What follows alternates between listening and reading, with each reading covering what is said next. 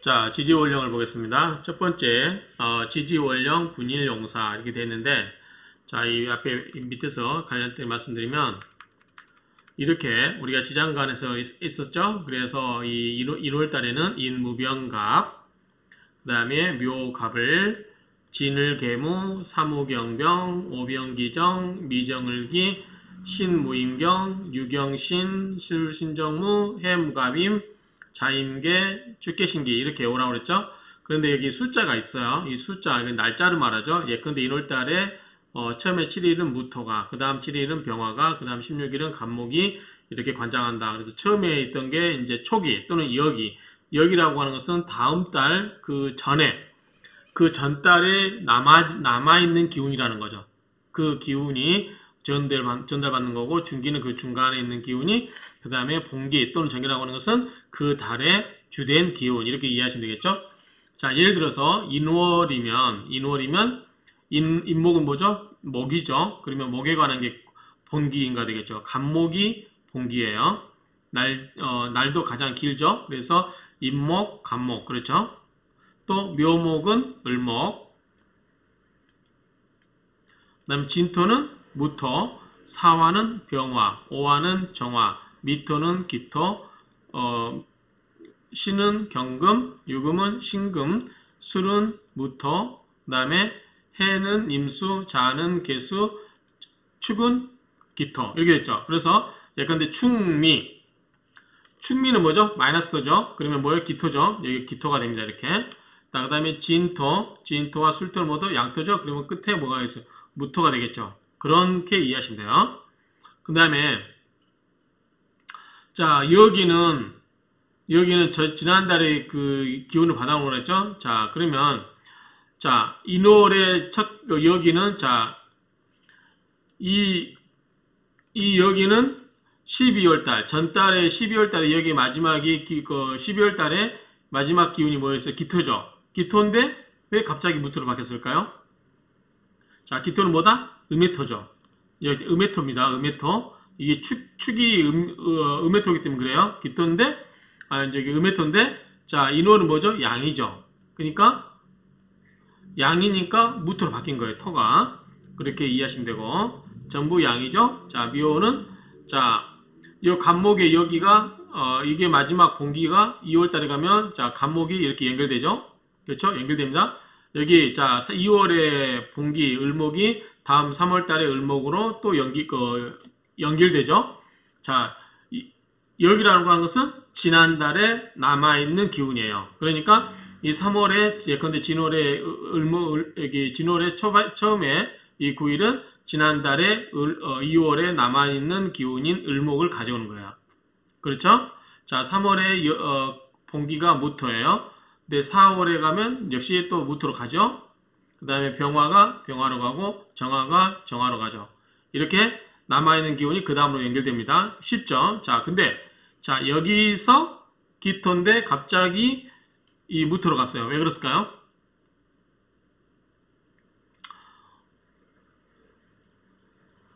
왜 그러냐면 자 미월은 뭐예요? 미는 마이너스죠. 마이너스 음메토요. 그러니까 기토가 오는 게 맞고 자 여기는 신은 양이죠. 그러니까 기토로 바뀌는 거예요. 그렇게 이해하시면 될 것 같아요. 그 다음에 무토 무토 뭐 이렇게 경경 신신 무무 임임 개개 이렇게 바뀌면 돼요. 기무 이렇게 바뀌었죠. 기토무토 바뀌는 거는 그게 음의 토냐 양토냐에 따라서 그렇게 하는 겁니다. 자, 이렇게 해서 날짜가 다 있지만 날짜는 중요하다 안 중요하다? 물론 중요하지만 의미는 이해할 거 이거를 꼭 그 뭐죠? 연결될 필요는 없다. 무슨 말이냐면 자 원령의 사령과 날수와 관계없이 지지의 감추지는 예컨대 어, 어, 여기에 예컨대 일주가 병 오다 병오 아, 이제 제, 제 사주각교 얘기할게요. 병호, 을미, 병신, 경인. 이 사주라고 만약 가정하면, 자, 자, 미월이죠. 이게 월- 월주니까 월주의 미터 속에 있는 게 뭐죠? 기운이? 자, 미터 속에 월 기운이 자, 이 미터 속에 있는 기운이 정을 기 정을 기가 있죠. 이 을목이 여기 위에 올라와 있죠. 그쵸? 자, 을목이 그래서 이 지장간에 투간되어 있는 게 요 위로 올라오면 요게 또 격을 정할 때도 되고 그래요. 그러니까 이런 지장간에 숨어 있는 것이 천간으로 나오면 어 물론 이 이게 어 지지에서 뿌리 지지에서 힘을 받고 바로 올라오면 좋겠지만 그렇지 않은 경우는 뭐다? 어 이 지장간에 있는 게 여기 위에 천간에 나타나도 뿌리를 두었다라고도 많이 이야기를 해요. 그러니까 그런 그런 의미로 보- 그런 의미로 이해를 하시면 자 이런 이야기요. 그래서 지지에 지지에 감춰져 있는 천간. 자 지장간이라는 것은 지지에 감춰져 있는 기운이 어, 하늘의 기운이 땅 밑에 감춰져 있는 기운이라고 했죠. 그 지, 어, 가- 어, 지지에 감춰져 있는 천간 그 지장간만을 고려하여 격국과 용신을 정한다. 요거 격국과 용신은 다음에 나올 거예요. 그러니까 뭐냐면 방금 말씀드린 것처럼 그 제가 어, 예컨대 어, 을미월의 병신이면은 그 미터 속에 들어있는 을이 위에 천간이 투출돼 있죠. 을미니까 그럴 경우에 병화와 을과의 관계에서 어떤 관계인지 이제 이렇게 어, 이야기를 하는 것 같아요. 아무튼 개국과 용신은 다음에 배우기, 배우니까 어, 그렇게 이해하시고 일단은 뭐다? 요 지장간에 있는 게 천간에 투출되면 그게 정하는데 기준이 되는 거지 꼭 이 날짜에 따라서 뭐 날짜가 긴 게 돼야 된다 그런 거는 아니다 이렇게 이해하시면 될 것 같아요. 자 원령의 활용은 일간 및 투출한 천간의 등력 여부 자 일간 그리고 투출한 천간 그 지지 속에 지장간 속에 지지 또는 지장간 속에 숨어 있는 그 천간이 한 어, 천간에 연결돼 있다. 그렇죠? 그러면 그걸보다 힘을 얻었다는 거죠. 등력 얻을 득자 힘력자니까 그러면 힘을 얻었다는 거예요. 뿌리를 두고 있, 있으면 힘이 있다 없다 있다 그런 의미예요. 그 다음에 격국 및 용신의 어, 선정 및 등력 여부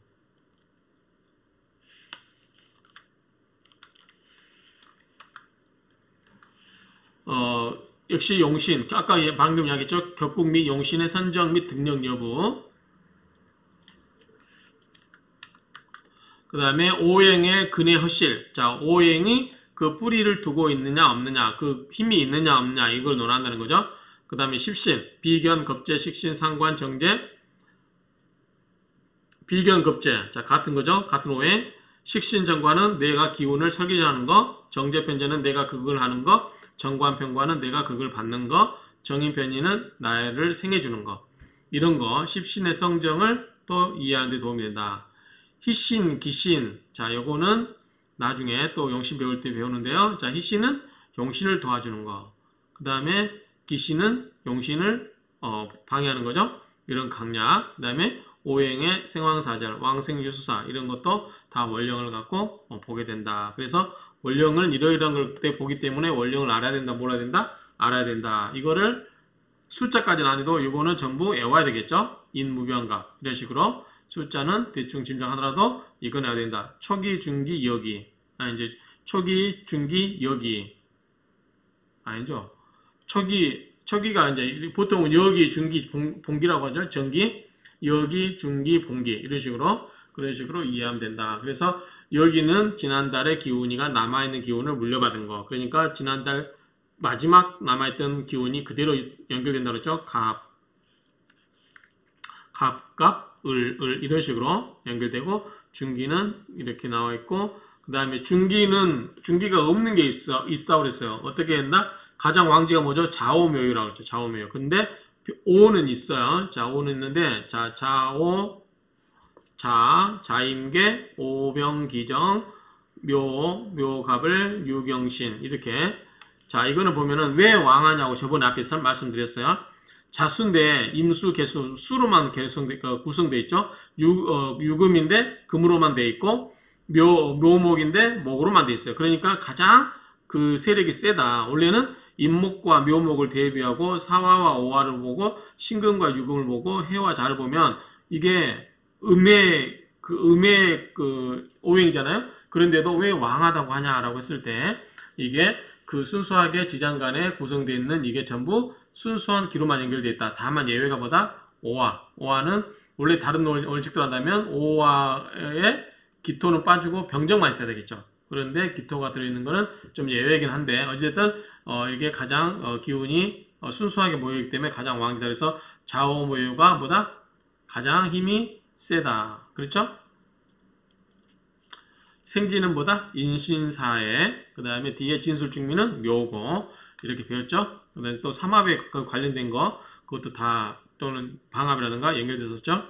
아무튼 이런 걸 하기 때문에 여러 가지 응용이 되기 때문에 요거는 반드시 외우시라 이렇게 말씀을 드리겠습니다.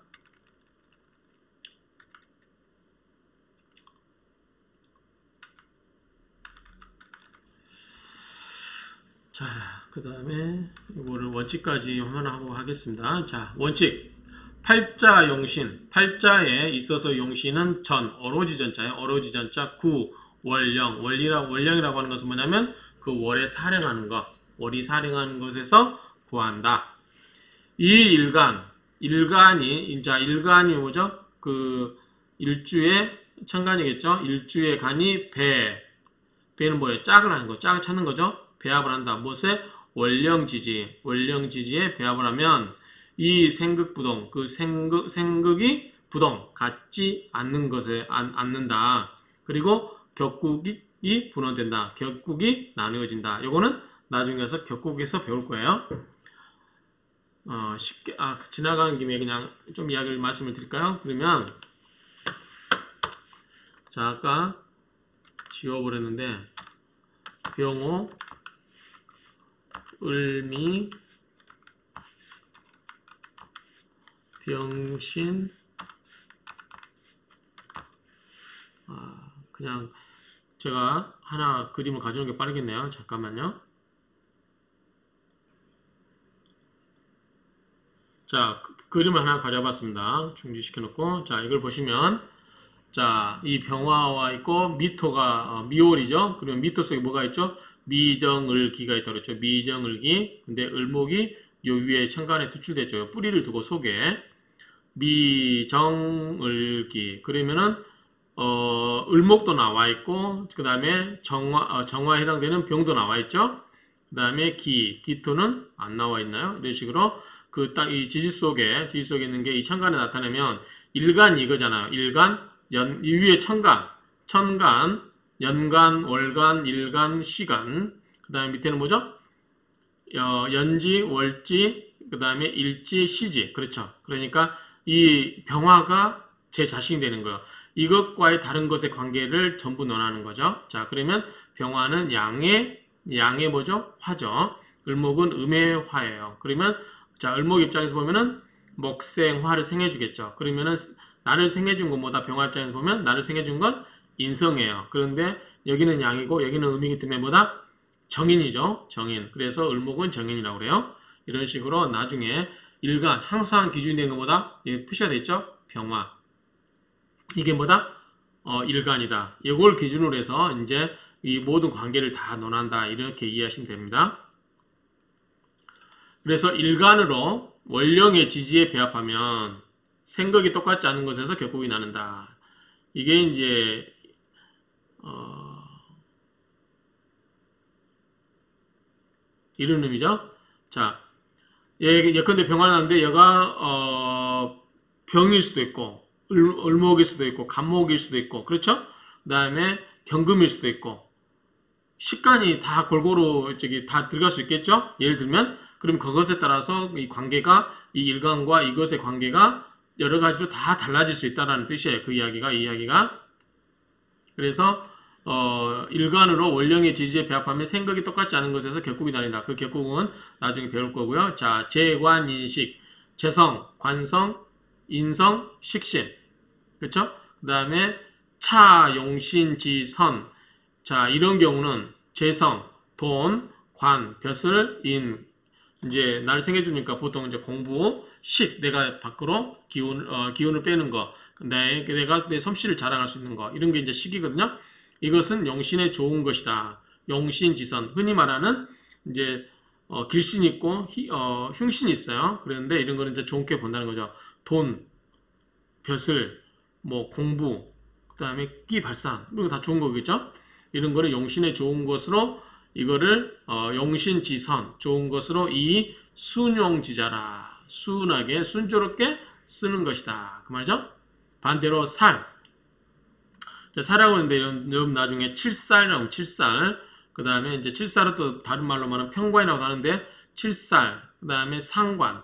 식신하고 상관. 그렇죠? 그 다음에 겁제, 양인 이런 것들이죠. 이런 것은 안 좋겠죠. 느낌이 안 좋죠. 그렇죠? 이런 경우는 용지불선이라. 그래서 용신이 뭐다? 어, 착하지 않다. 즉 좋지 않다. 그래서 이 역용지 자라, 자야라. 그래서 이런 것은 역용하는 것이다. 당, 마땅히 순이 순, 순한 것은 순을 하고 마땅히 당, 역이 역, 역, 역 여가한 것은 거꾸로 하는 것은 거꾸로 하게 하고 그렇죠? 그렇게 한 것이 배합 등이 그렇게 배합을 해야만 마땅함을 얻는다. 의가 마땅하다 그 말이죠. 그래서 그 배합이 마땅함을 얻으면 어떻게 된다? 개 모두 개자죠. 모두 위 된다. 귀격 귀한 격이 된다 그 말이죠. 자 이건 아마 이제 격국과 용신은 이제 조금 있으면 아마 이제 공부가 들어갈 거니까요. 그때 잘 이해 안 되시면 어쨌든 어 이거는 일간을 중심으로 정한다. 이 정도만 이해하시면 될 것 같아요. 일간을 중심으로 그게 어떻게 적용이 되는지 그런 걸로 정하면 될 것 같다. 한번 간단하게 읽고 마치겠습니다. 팔자 용신 전구 원령. 자, 팔자 용신은 오로지 원령에서 구하는데 이 일간 배 원령 지지. 자, 일간을 원령의 지지, 월지와 배합을 하게 된다. 이 생극부동 그러면 그 생하고 극하는 게 같지 않다. 그 어, 각각의 경우마다 다 다르다는 얘기죠. 격국분원 그럼에 따라서 격국도 나뉘어진다. 자, 재관인식, 재성, 관성. 어, 이제 여기는 보면 재성은 이제 정제가 되겠죠. 뭐 정제 편이 상관없을 것 같아요. 여기서는요. 음, 겁제가 여기 있네요. 그러면 어쨌든 여기 제, 어, 재성은 다 이쪽에 도는 다 이쪽으로 있네요.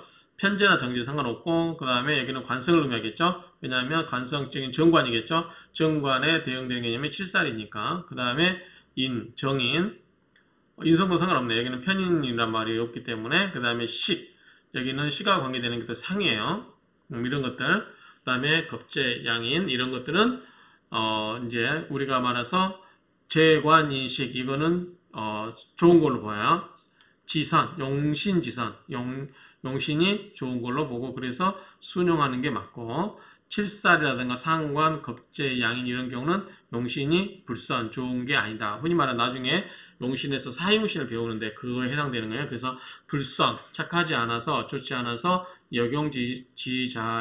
그래서 거꾸로 쓰는 게 거꾸로 쓰는 것이다. 그래서 순한 것은 순하게, 역행하는 것은 역행하게 쓰고 그리고 배합이 마땅함을 얻으면 그래서 어, 그렇게 되면 모두 기격이 된다. 이렇게 정리를 합니다.